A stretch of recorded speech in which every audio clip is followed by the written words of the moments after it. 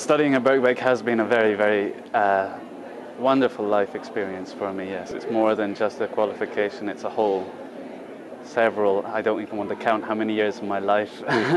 um, and so it has ramifications both professionally and just things that you find yourself remembering after many, many years that you learned at Birkbeck, uh, which has been great. There's, um, and the people that you meet, I'm still, I started at Birkbeck a long, long time ago. I started in 2003, in fact, and there's people who I met my first term there that I'm still very, very good friends with, and that's coming up for a decade ago now, but we're still in touch and we're still speaking, and it's really great to have those relationships, both in a professional and an intellectual way, but also uh, just a personal way. It's really great.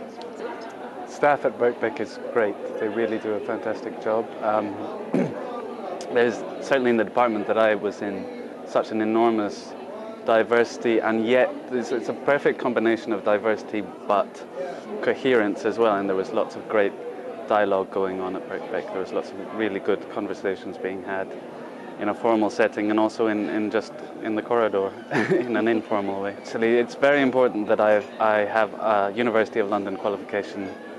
It helps enormously when I've been looking for work abroad, which I have on occasion, because Birkbeck college doesn't often mean all that much to people. Abroad, you wouldn't expect it to, but University of London, they know exactly what you mean, and, and that's it's a good thing to have on your CV. I feel that Birkbeck has changed my life completely.